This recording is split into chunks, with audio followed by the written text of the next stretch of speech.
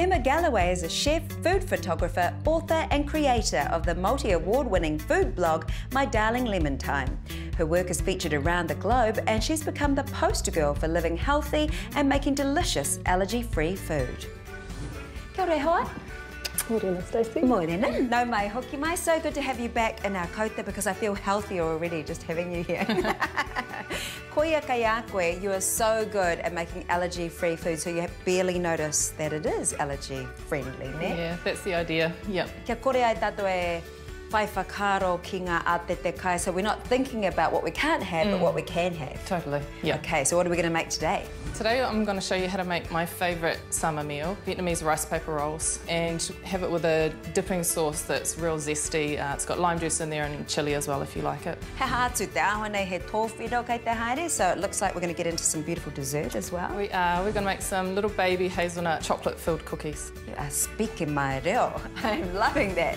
Katimata here. So where are we going to start? Over at the yeah, over here. First up, we'll make the uh, pickled cucumber, I think. So you can either use a mandolin if you have one. I know lots of people are a little bit scared of using them, grated fingers and all. So we're going to do the other version, which is just with a knife. We're not going to use the seeds. I tend to just eat those as a snack, or the kids like them. So you can slice kind of a little bit of seeds is okay, but you kind of just want to slice around the seeds. And then we're just going to chop them into little julienne. Julienne. Julienne. Cool, while you get on with that, I will start doing the pickling liquid. So for every kind of half a cucumber, you need 50 mils of apple cider vinegar, 100 mils of just cold water, two tablespoons of sugar, I tend to use unrefined raw sugar, and about half a teaspoon of salt and we're just going to boil it for a couple of minutes until it just goes a little bit syrupy and then pull it off and let it sit aside until it's pretty much cool before we pour it over the cucumbers. He ngā mahi hei whakatutuki hoa, so what else do we need to do here? So we're going to make, uh, get all the rest of the fillings all ready. I tend to, you can use any noodles in the middle, but I tend to use a vermicelli noodle. This is just made out of mung beans. So you just cover it in boiling water and set it aside for five minutes and then we'll just drain that off. Uh, ngā ranu ne, kei te aro tāu ki nei, so we're looking at the sauce now. Yeah, so we're going to mix up the dipping sauce, which is basically just hoisin sauce. Uh, but I, I have to eat gluten-free because of an intolerance, so I get a gluten-free hoisin sauce. You, if gluten's no problem for you, this is readily available, you know, everywhere. Those the, that's the base, that's your Yeah, so the dipping sauce, like in Vietnam, what they'll serve you is hoisin sauce, thinned down with just a little bit of boiling water. But I like thinning it down with lime juice.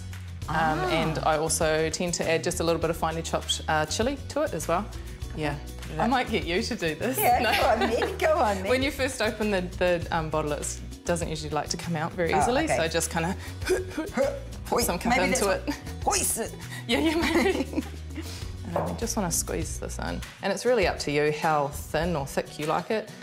Just enough so that you can kind of dip, dip it in without it being gluggy. Mm -hmm. Yeah. Mea no, he hirikaka, so we're putting some chilli in there too, did you say? Up to you. I love chilli like a crazy person. Tawa, tawa. That's, that's me. Well, actually, I actually grew into it, so yeah, right. now I like it. No, i will only add a little bit. So you just want to finely chop it, and it's totally up to you. And when we're serving these at home, we serve them, serve them Vietnamese style. So rather than one person making all of the rolls, we just put all the ingredients in the middle of the table. Everyone has their own plate there's a couple of water bowls to dip your rice paper in, and everyone has their own little sauce. And everyone grabs the fillings that they like as well and leaves out the bits they don't like. Yeah. Pai hei, wha, uh, pai tēnā hei kaima te whānau, and that makes it really work for a whānau too, totally. rather than doing a sous chef thing. Absolutely. Every child and all their desires. Absolutely. Probably onto some tofu next. I'm just going to grill this, so with, with the lovely chili knife. We'll just slice it up. And I like to cook my tofu really slowly so that it can get quite crispy on the outside. And while we're cooking, we'll pour that pickling liquid over the cucumbers and just get them pickling. Mawa, so those looking good? Nice and crispy, and then we can get those out of the pan and just slice them up. I've just drained these and a good little tip is to just get some scissors in there and give it a couple of snips just to break up because at the moment these are huge, big, long kind of mm. strands. Cool, and then we're just gonna get any kind of, we're gonna use a flat tray, fill that up with water. So it's not super duper hot, but it's not cold as well. Alrighty, so if we grab one of these each, mm -hmm. got one there. you seriously just want to dip it in for that. It just needs to be wet. Okay, so at this stage it still feels really kind of papery and, and not very, you know, nice to eat. But by the time you've added all of the fillings, it's nice and soft and it's not too wet. It, you know, dries out itself. Tuna hitia, eh, ne? So and then yep. you... Fold the bottom up and then, and then the inside's in. And at this stage, this is where you want to make sure that it's really tight when you roll it up. Oh, look at that. Engari. I want to eat them. Go for it. Kia ora, hoa, mo tēnei wā, we, we, I won't double dip, I promise. Well, I might actually. Well, we figured out the best way to do it um, if you're not, if you don't have your own dipping sauce bowl, is to dip that way, have a bite, and then mm. dip, dip that end as well. Mm.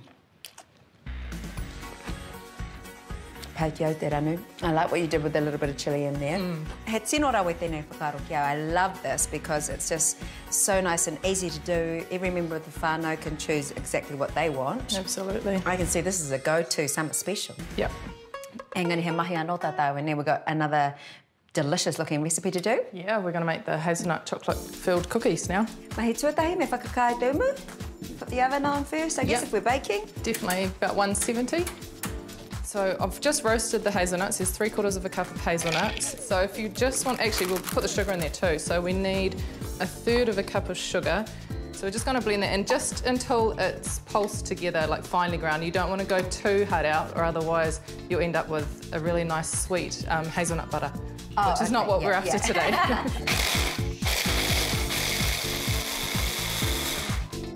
oh wow, that was quick.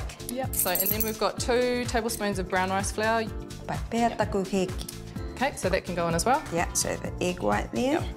And about a teaspoon of vanilla extract. So we're going to whiz that up again? Yep. Cool, and then should we both roll, roll these? Kind of teaspoon size balls. Right and we're going to aim to try and get about 24 so that once they're sandwiched together with the chocolate we'll have 12 um, cookies. So they just go in the oven for about 10 to 15 minutes. So we're just going to melt this dark chocolate in a double boiler, so just a pot of water. Make sure that the bowl is not touching the water um, and then it just kind of melts it nice and gently. Mm. Nice and golden here, huh? They look perfect. So we need to leave those so to cool? If you want them to cool down faster, transfer them to like a wire cooling rack and then um, wait till they're cool and then sandwich them. They're quite cool there. Yep. And we're just gonna, if you just take one, a little blob of chocolate on there and then try and match it up with a similar sized one. It's like a, a biscuit burger. If you don't want to do this, you could always just drizzle chocolate on the top of all of them, um, and then you'll have more cookies. Or you could dip the whole thing in, a, in the chocolate if you really want. I love seeing you again. And now, Koutou, especially when you bring amazing recipes, so easy to do. Pai katoa ma te whānau and very good for all of our whānau. I love, they're very whānau friendly. Definitely, oh, definitely. Don't, don't, let me hang in here. Which one? Thanks so much for having me. Cheers. Okay, if I have to. The whole one? I can't do them. These are good. No. Oh, you did it the right way. I'll set you up.